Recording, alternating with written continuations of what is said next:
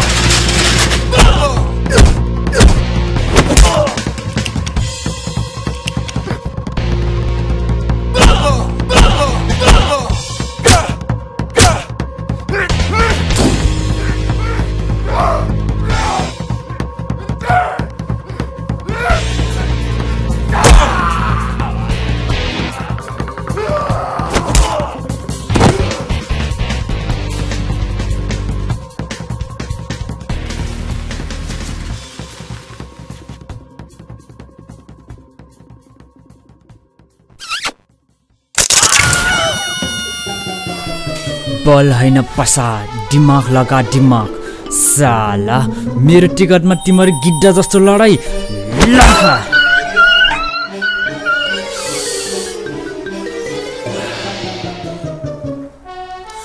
ओहो हाकु दाई नमस्ते यो टिकट हजुरको पो हो?